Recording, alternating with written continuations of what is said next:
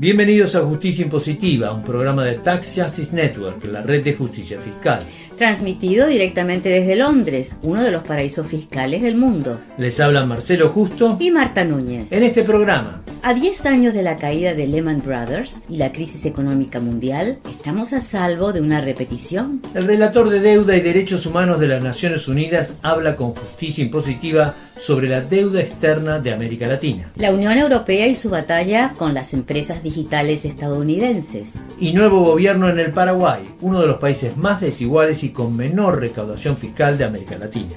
Esto es Justicia Impositiva, un programa de Tax Justice Network, la red de justicia fiscal. Lehman Brothers, a 158-year-old firm, filed for bankruptcy. La quiebra del cuarto mayor banco de inversión estadounidense, Lehman Brothers, ha acrecentado la crisis internacional del sector financiero. The collapse of Lehman Brothers set off a wave of panic on Wall Street. El 15 de septiembre de 2008, la quiebra de un gigante de las finanzas internacionales, el Lehman Brothers, disparó la peor crisis económica mundial desde el crack de 1929. En los días siguientes, el mundo entero estuvo a punto de paralizarse financieramente. Si el Lehman Brothers, cuarto banco inversor del mundo, había caído de la noche a la mañana, ¿cuál era la situación del resto de los bancos y entidades financieras? El fantasma del crack de 1929 estaba en el aire y el gran pánico era una estampida de inversores y ahorristas que buscaran retirar sus fondos de inmediato. El exministro de Finanzas británico, Alistair Darling, recordó recientemente el llamado urgente que recibió del director del Royal Bank of Scotland, que en ese momento era el primer banco a nivel mundial. Me llamó el director del banco para decirme que tenían una hemorragia de fondos. Le pregunté hasta cuándo podían aguantar y me dijo que esa misma tarde se quedarían sin efectivo. Es decir, que pasada la tarde no habría dinero en los cajeros automáticos del primer banco del planeta. Si esto llegaba a suceder, la corrida se extendería de inmediato a los bancos británicos y los de Estados Unidos, porque si el primer banco del planeta se quedaba sin dinero, ¿qué se podía esperar del resto? Estoy seguro que hoy todos quieren saber si esta situación puede repetirse.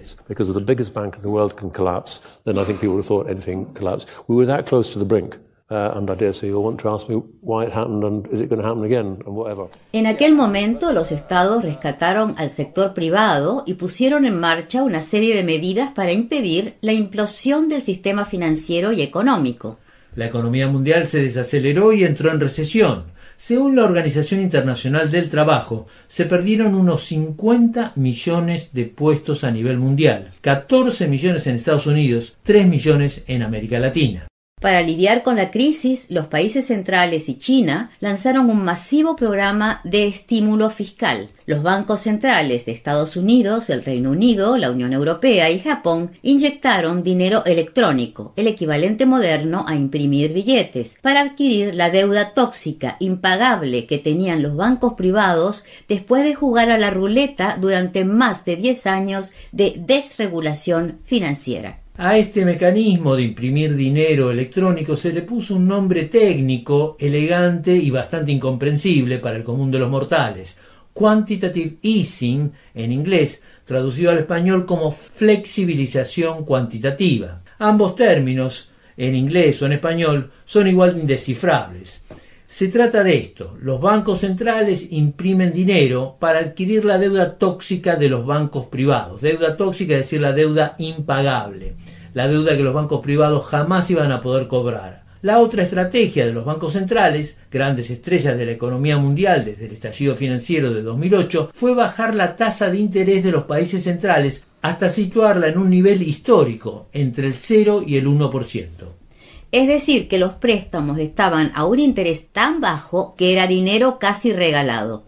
¿Tuvo éxito esta estrategia? Sí y no. La economía global salió de su estado crítico, pero no termina de recuperarse. Como la enfermedad parece continuar, la pregunta que hizo el ex ministro británico Alistair Darling sigue siendo válida. ¿Es posible una nueva crisis económica mundial?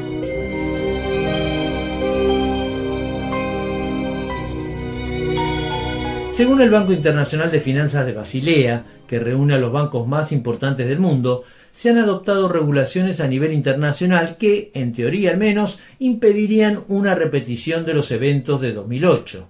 Al mismo tiempo, para volver a la normalidad, la economía mundial debe desandar esos dos mecanismos que mencionábamos antes, la flexibilización cuantitativa y las tasas de interés entre el 0 y el 1% en países desarrollados. Justicia Impositiva se comunicó con varios especialistas para analizar el peligro de un nuevo estallido financiero. Comencemos con las voces del economista croata Sargon Nisan, director de la Financial Transparency Coalition, y Juan Valerdi, ex asesor del Banco Central de Argentina y académico de la Universidad de La Plata, Argentina. Muchos de los problemas y contradicciones de la crisis de 2008 siguen existiendo, en particular aspectos de la economía sumergida, incluidos los paraísos fiscales y la opacidad general del sistema financiero. Sin embargo, las principales economías y especialmente sus bancos centrales están preparadas y dispuestas a responder de una manera que no existía en 2008. Existen vulnerabilidades importantes que son diferentes la coordinación sin precedentes que tuvo lugar principalmente bajo el liderazgo de los Estados Unidos en 2008 y 2009 para reaccionar ante la crisis puede ser difícil de imaginar en el contexto actual. Yo creo que lo que se hizo en el 2008 de algún modo es patear para adelante el problema y empujarlo con mucha liquidez, cosa que ahora de a poquito se está revirtiendo cuando suben las tasas de interés de Estados Unidos y demás, pero lo veo frágil y veo además que la crisis de deuda que está ocurriendo en los países eh, grandes tomadores, como el caso de Argentina, de Turquía y otros que están en graves problemas con su deuda, tranquilamente puede arrastrar al sistema financiero una nueva crisis que es la que se postergó en el 2008 y que nunca cambió los fundamentos y las bases estructurales de un sistema desquiciado, básicamente. El sistema financiero mundial no tiene ningún tipo de relación con el sistema real de producción y está fuera de control, en gran medida por la forma en que pueden esquivar las regulaciones desde las guaridas fiscales. Todas las grandes empresas, los grandes bancos del mundo pueden esquivar las regulaciones y en otra medida porque los poderosos de los países centrales, especialmente Estados Unidos y, e Inglaterra, no quieren cortar ese sistema porque hay poderosos intereses financieros y, de multinacionales que están usufructuando ese delirio y esa locura, ¿no? En este sistema de locos que describían Juan Valerdi y el economista croata Sargon Nissan, la deuda acumulada a nivel global es uno de los problemas más visibles. A una década de la caída de Lehman Brothers, la deuda pública y privada global es más de dos veces más grande que todo el Producto Interno Bruto del mundo, es decir, debemos muchísimo más de lo que producimos. Los más endeudados son los países desarrollados, pero estos países son los que tienen más recursos para pagar sus deudas y más poder para trasladarlas a otros países. Por el momento, la deuda se ha visibilizado mucho más en los llamados mercados emergentes, liderados por Turquía y Argentina, afectados por el peso mismo de la deuda que han contraído y por la suba de la tasa de interés de Estados Unidos.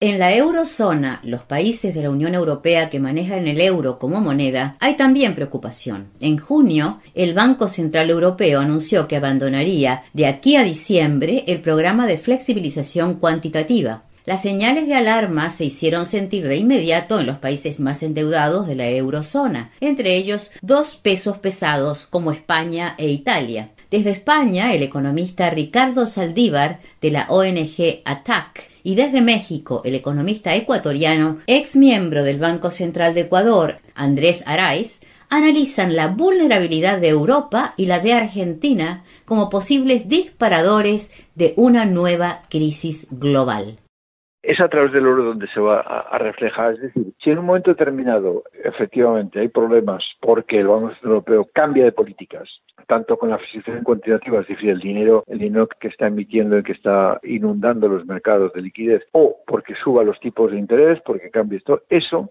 puede hacer estallar el euro no que los países salgan del euro, sino que se cuestione la existencia de un euro que meta en el mismo saco a, a los países del norte de Europa con los países del, sur de Europa. Por ahí sí podría venir efectivamente un crack y una ruptura, nueva crisis, porque en ese momento la idea política de Europa salta por los aires.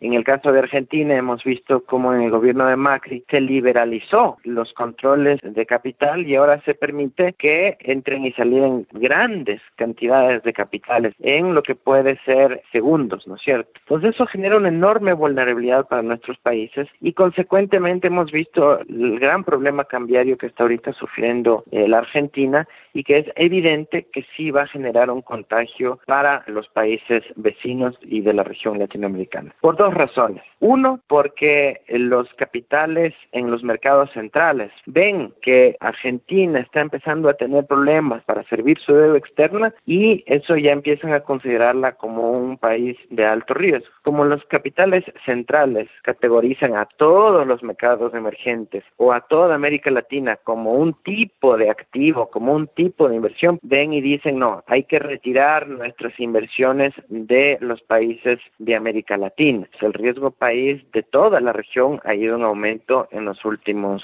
días y últimos meses. Y por otro lado, la devaluación que está ocurriendo, eh, por ejemplo, del de, peso argentino, hace que el comercio con los vecinos se vuelva también desequilibrado. Y vamos a ver inevitablemente que los vecinos de la Argentina también tengan que incurrir en estrategias de devaluación de sus propias monedas y bueno, pues cuando devalúe eh, Brasil de forma significativa, el contagio lamentablemente llegará a toda la región y podría ser un desencadenante en el mundo.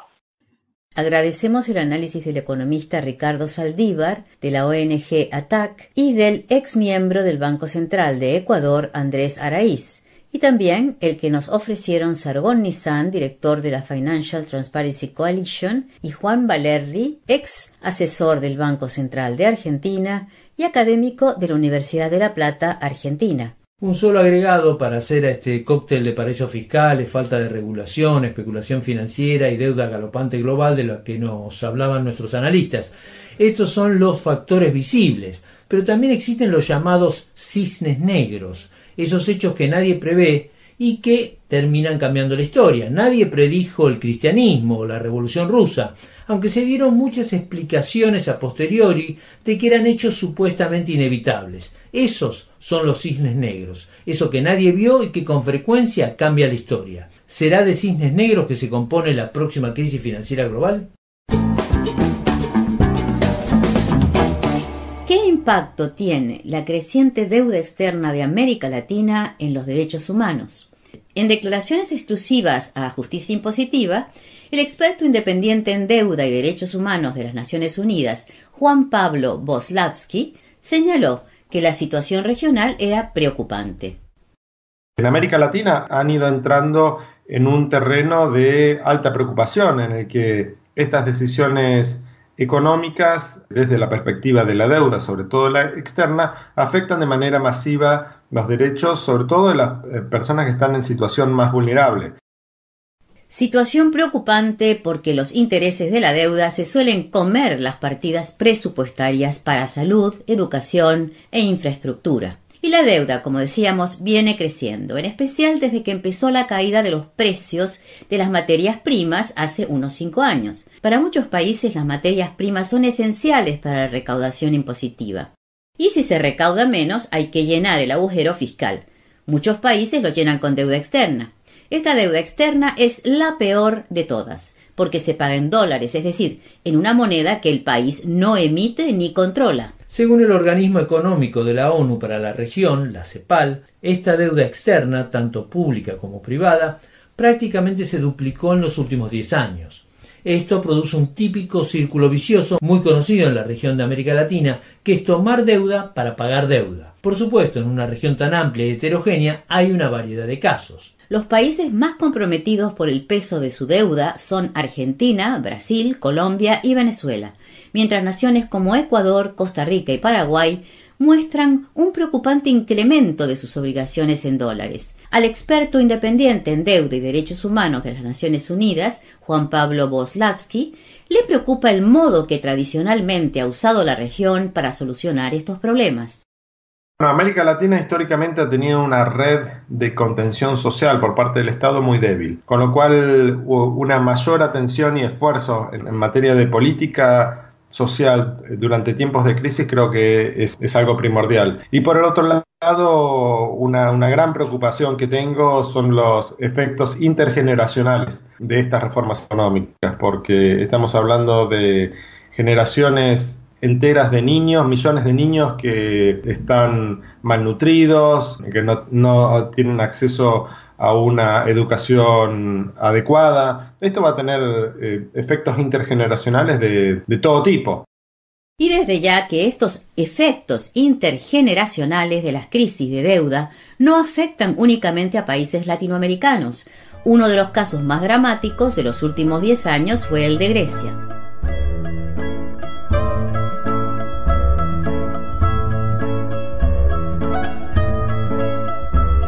El estallido financiero de 2008 dejó a Grecia en situación de default. El rescate de la llamada Troika, la Unión Europea, el Banco Central Europeo y el Fondo Monetario Internacional tuvo un alto precio. Juan Pablo Boslavsky visitó Grecia en medio de la crisis. Esta fue su experiencia.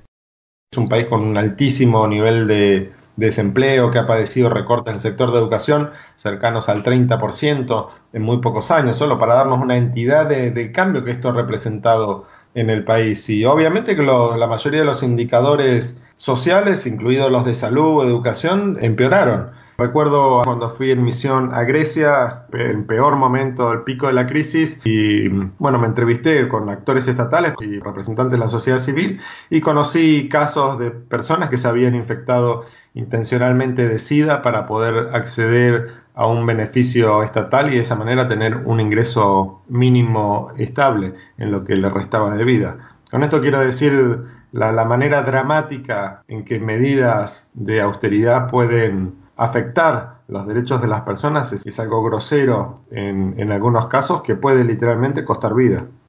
El experto independiente en deuda y derechos humanos de las Naciones Unidas, Juan Pablo Boslavsky. En marzo del 2019, el Consejo de Derechos Humanos debería tener aprobados nuevos principios rectores en materia de reforma económica, ajuste y su impacto en los derechos humanos y sociales. Estos principios serían votados en marzo y proporcionarían un marco jurídico global que obligaría a los estados y organismos financieros a analizar el impacto que tienen estas políticas en los derechos humanos.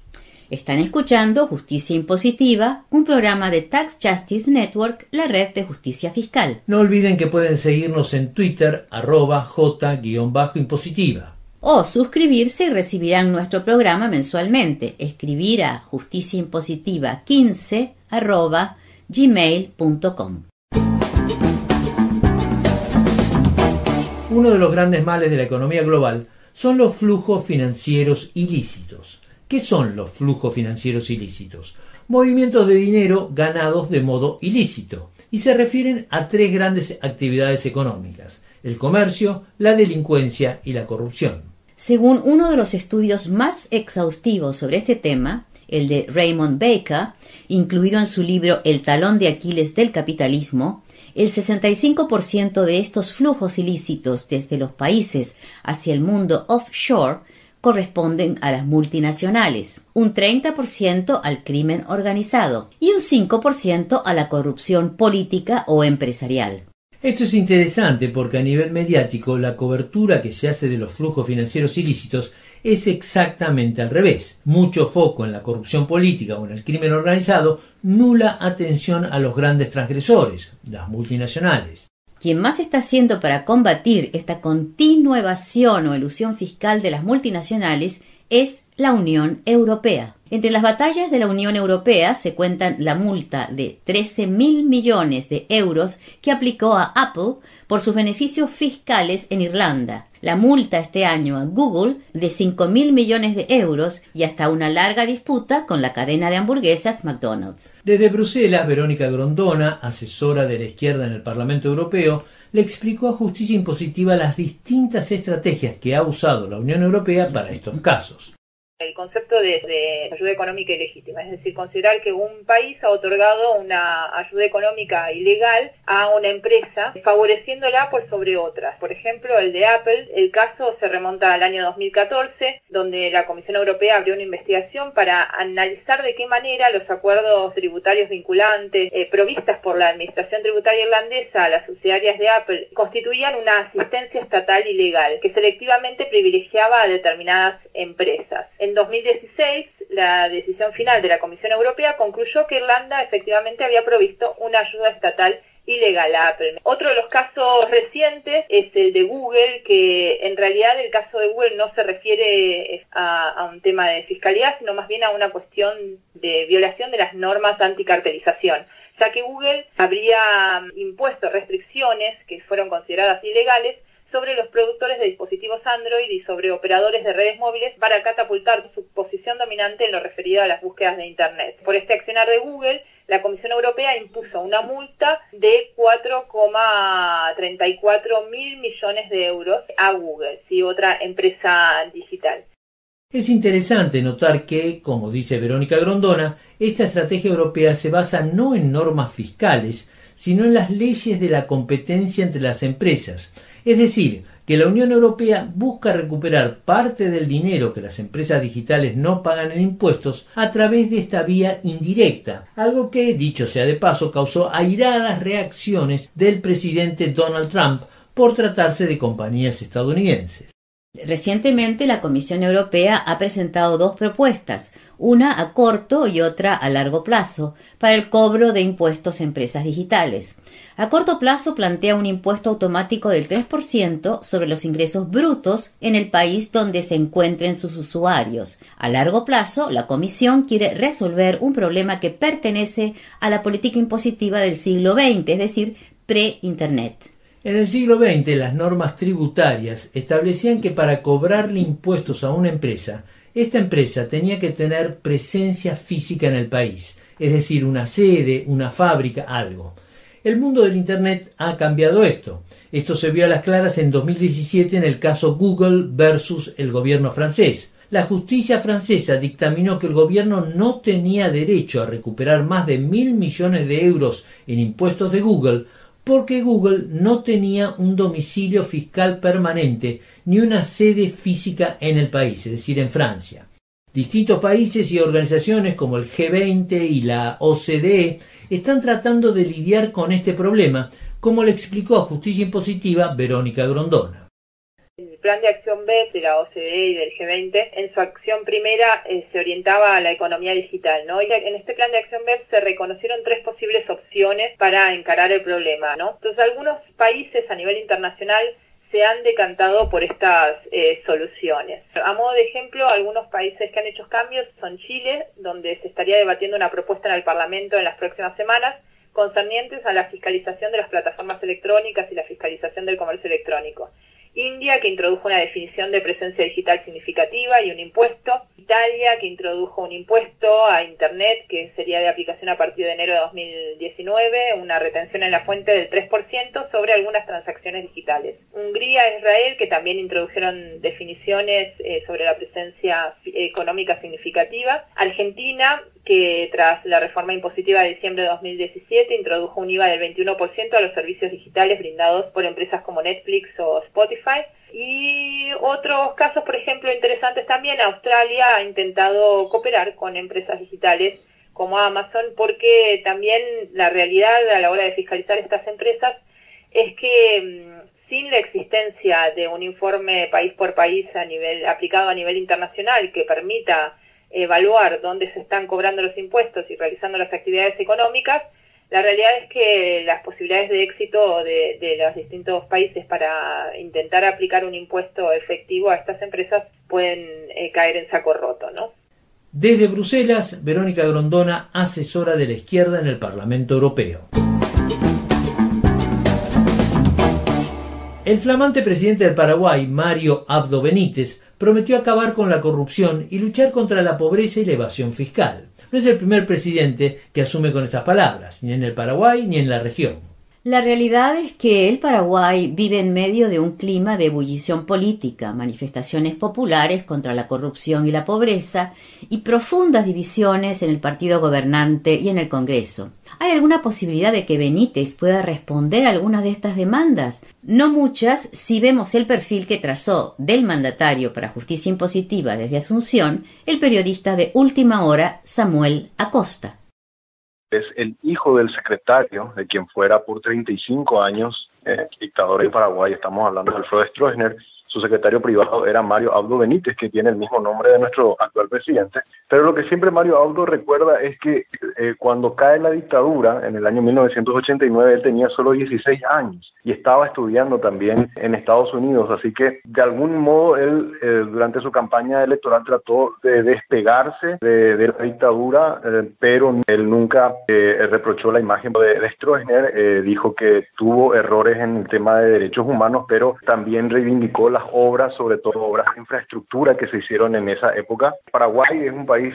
muy conservador todavía. Ciertas señales que él dio, como por ejemplo reivindicar a las Fuerzas Armadas, una posición muy conservadora en cuanto a las cuestiones, por ejemplo, como el aborto o el matrimonio igualitario, fue también, digamos, algo de lo que impulsó, digamos, su, victoria en las urnas en nuestro país. El gran desafío que tiene ahora Mario Abdo Benítez es adentro del Partido Colorado, digamos, la división que hay actualmente en el Partido Colorado. Él enfrentó a lo que era el oficialismo cartista, ¿verdad?, de Horacio Cartes y ganó eh, sorpresivamente porque Cartes, digamos, tenía un poder económico muy fuerte, de hecho lo tiene y maneja Estado. Y bueno, ahora los senadores con los que hoy cuenta Mario Audo Benito son suficientes como para que él pueda ir desarrollando un paquete de, de leyes a estos problemas políticos que enfrentará el flamante presidente paraguayo para llevar adelante un programa legislativo se suman ancestrales desafíos económicos y sociales. En los últimos años, Paraguay tiene un sostenido crecimiento económico que, sin embargo, no se ha traducido en una mejora del nivel de vida de la mayoría. Los niveles de pobreza son abismales. El país tiene una de las tasas de mortalidad infantil más elevadas de la región. No debería sorprendernos que estos pavorosos indicadores sociales vayan de la mano de un altísimo nivel de evasión fiscal. El gasto público es uno de los más bajos de América Latina. Una nueva medición mucho más precisa del Producto Interno Bruto paraguayo redujo el gasto público en relación al Producto Interno Bruto a su mínimo regional, un 9,4%. Desde Asunción, Verónica Serafini, de la ONG Decidamos, evaluó para Justicia Impositiva la situación económica y social del Paraguay hoy y las perspectivas de que mejore con el actual gobierno. Yo creo que uno de los problemas económicos más importantes es la desigualdad. La típica desigualdad es la económica, la de ingresos. Eh, las desigualdades de género son muy importantes. Eh, las desigualdades territoriales, las desigualdades entre los pueblos indígenas y los no indígenas. Y sabemos que desde, desde el mercado no se reducen las desigualdades. Por lo tanto, las políticas públicas tienen que tener objetivos explícitos en ese ámbito. Y ahí surgen dos problemas importantes. Eh, Paraguay tiene uno de los, más bajos niveles de gasto en inversión social, y por otro lado, también con el nuevo cálculo del PIB tenemos la presión tributaria más baja de América Latina, menos del 10%, es decir, no existe el Estado. En 1989 fue la, la caída de la dictadura. Tuvimos una década perdida en términos de indicadores sociales pero empezamos a mejorar desde el año 2000 junto con el mayor rol del Estado en las políticas públicas y eso hizo que mejoraran indicadores de salud, indicadores de educación, en una tendencia de, de reducción de la pobreza lenta, pero sistemáticamente. Pero en los últimos cinco años eh, tenemos un estancamiento en los indicadores sociales y ahora estamos con un problema de alto nivel de endeudamiento. Como no recaudamos, necesitamos endeudarnos. Y la baja presión tributaria hace que no podamos, que en este momento tengamos que endeudarnos para pagar deuda. Desde Asunción, Verónica Serafini de la ONG Decidamos. Llegamos así al final de esta edición de Justicia Impositiva, un programa de la Tax Justice Network, la red de justicia fiscal. No olviden que pueden seguirnos en Twitter arroba j-impositiva. O suscribirse y recibirán nuestro programa mensualmente. Escribir a justiciaimpositiva15 arroba gmail.com. Desde Londres, sede de los paraísos fiscales, los saludan Marcelo Justo y Marta Núñez. Hasta la próxima.